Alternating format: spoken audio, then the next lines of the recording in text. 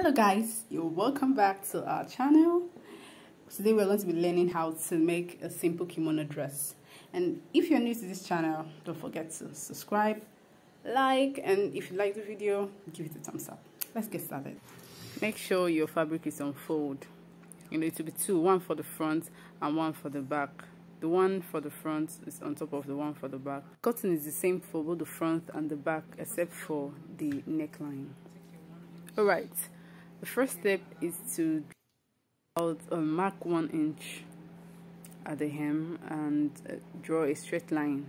That's going to serve as your guide. It's you're going to place it as a guide to help you in taking other measurements accurately. Do you understand? So when you've done that you have to input your um, bust point mine is 9 so I marked 9 across you know just mark 9 and then square up your line. This line is also going to serve as your armhole length. You know that's where you would um, place your arm opening for your sleeve okay? You know it's a kimono dress so it doesn't have a particular armhole. Next step will be to mark your half length. Mine is 15 and so i'll mark 15 on um, both lines. I'm, I'm you know taking the measurement again and again just to make sure that my lines are straight because it has a lot if you have a straight line then you are very sure that your um, your measurement will be placed accurately. So now that I've marked this I'm going to take um, the hip depth measurement. You know it's usually 7 8 or 9 inches after the waist.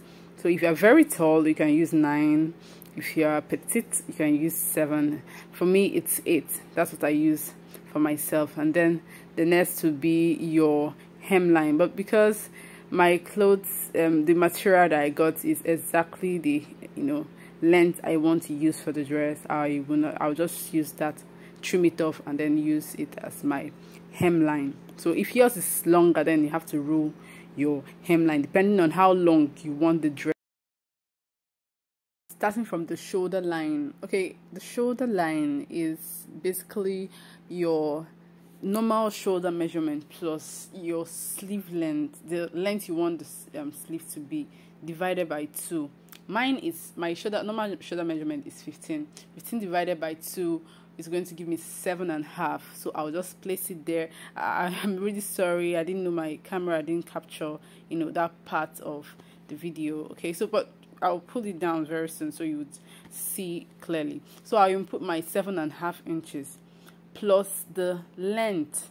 I already decided that my sleeve is going to be I didn't want to be so long so I, I, I used um, 7 you understand? So divide your shoulder measurement by 2 mark then you mark the sleeve length you desire to use for your um, kimono jacket for your kimono gown sorry plus one inch sewing allowance. So you go over to the chest line and take one fourth of your bust measurement. So when you've marked in one fourth of your bust measurement you mark one inch sewing allowance and one inch ease allowance. You know we don't want it to be very fitted because it's a it's supposed to be a free dress. So if you want it to be very very big you can add like two inches three inches sewing allowance. We do the same for the waistline. As you can see i'm marking my one inch sewing allowance and my one inch ease allowance in all of them. Next you go over to the hip line. Mark your um, normal hip measurement, one fourth of your hip measurement, one inch sewing allowance, and one inch ease allowance. When we go down to the hemline, it's a little different. You know, we use um, the same measurement we would have used for the hip, but just to give it a little bit of shape down there, you would take the measurement you used for the hip line and minus one inch from it you understand like you can see what i'm doing you take exactly what you have on the hip line and, and minus one inch from it just to give it a little bit of shape you understand at that down region next we're going to be doing is to connect our lines as we begin to connect our lines, we're going to see that the dress will begin to form. You understand? So where you would have to start from is the chest line. You connect the chest line to the waistline, to the hip line, down to the hemline.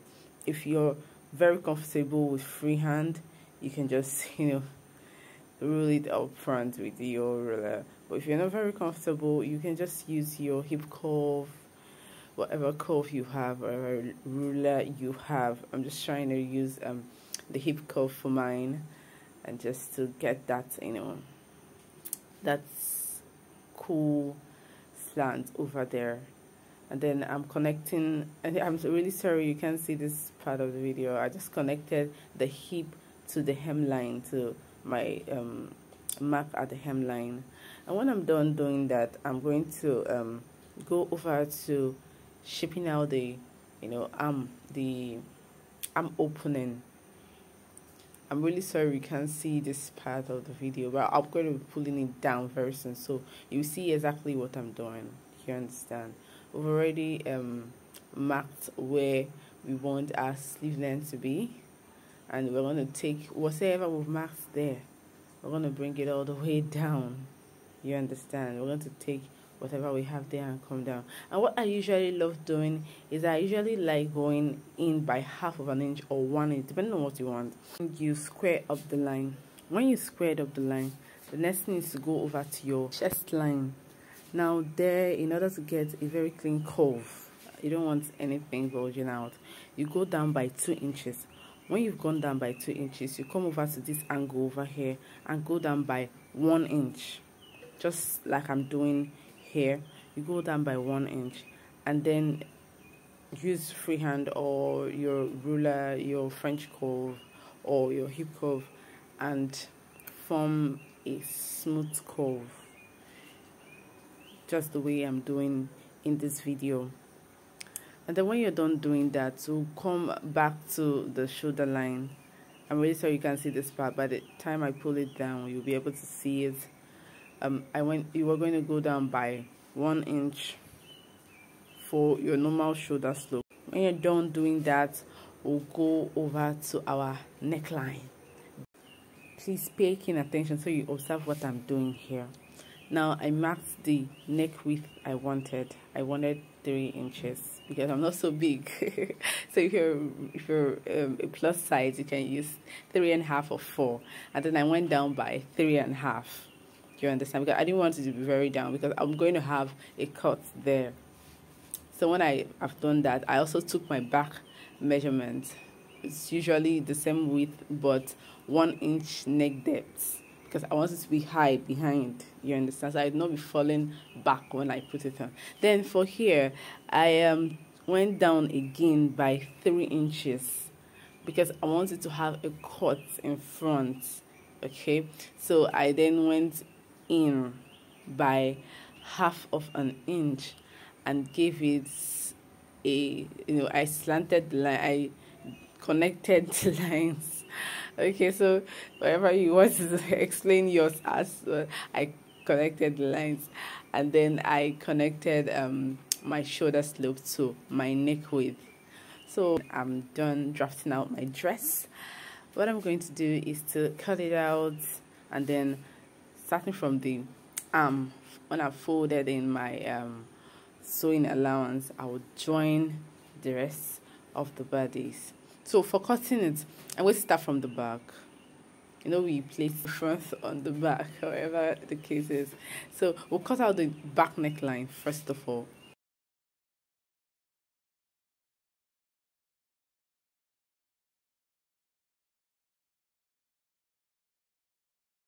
Always remember to um, rule your sewing allowance for the neckline because especially when you are cutting um, a dress that have half cut if you don't take your proper if you don't kind of measure out your proper sewing allowance it will shorten the length of your dress definitely.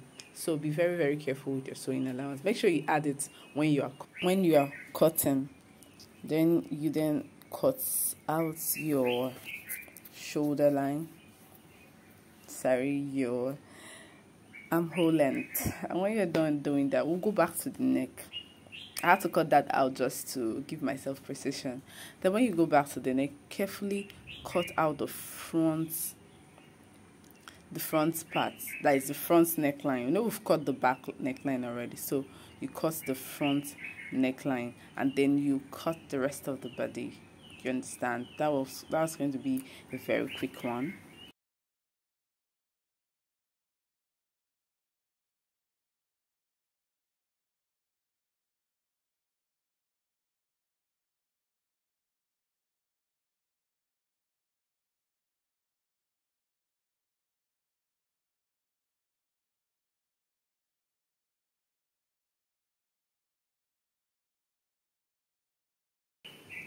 okay now we are done cutting.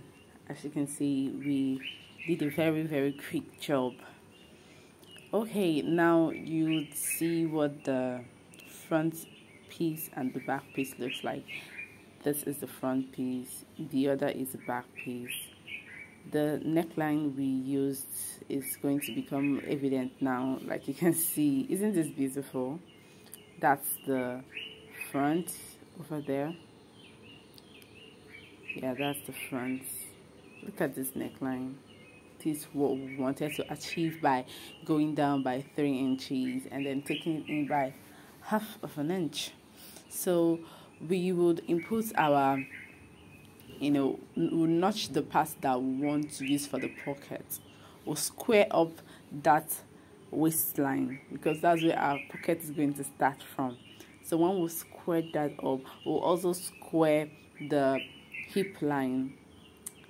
So when we square up the hip line just the way I'm doing in this video you would then um, notch the lines just so that you can it can be easy for you to locate it when you want to sew in your pockets.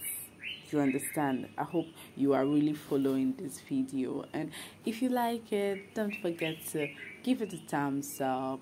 Don't forget to like don't forget to subscribe. We would really love to have you because we'll keep posting useful content useful sewing tutorials every week on this channel. So we're going to be cutting out the pocket now.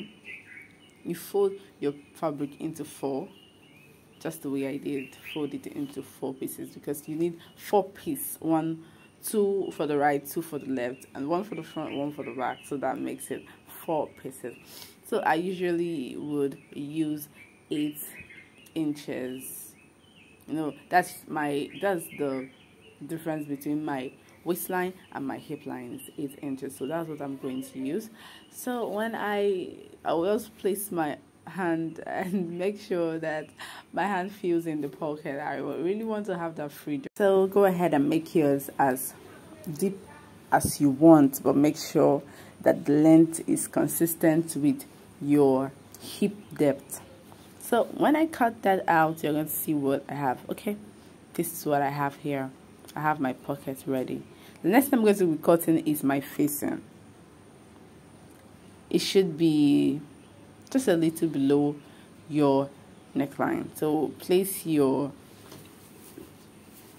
this is the front facing. So I'll place my, my front panel on another material and quickly cut out the facing. Just place it carefully and cut out exactly what you have on the neckline and the extra material that you placed under it make sure you're cutting exactly the same thing. You understand? And when I'm I've cut that out I'll just shape it into a curve and cut it out. I'll do the same thing for the back.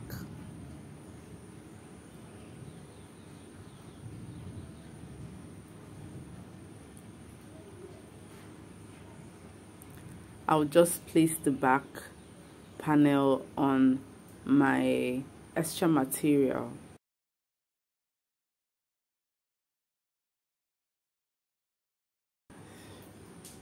And then I will cut it out just the way I did to the front.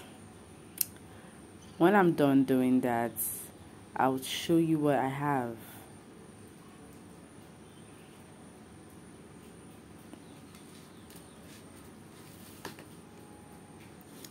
see guys it's very simple see see what I have I've joined it already like you see I've joined it and then it's looking very beautiful the next thing I'm going to do is to notch it I would notch it be very careful so you don't cut your thread here that happened to me a lot of times when I was starting up. I'll end up cutting my thread and then I'll start from the beginning.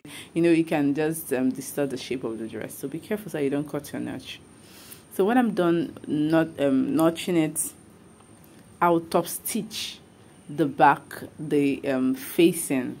You understand? I will top stitch on the facing round. It's going to give you that you know sharp look when you iron it out. See, it's already looking beautiful without ironing it out. Oh my god. Our dress is coming along. It's coming along.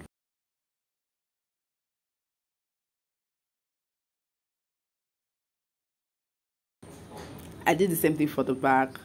I'll just notch the back and then top stitch. Uh, remember, you don't top stitch on the fabric. You top stitch on the facing. Do you understand? It's very simple. Top stitch on the faces, facing at all times, not on the fabric. So, for the pocket,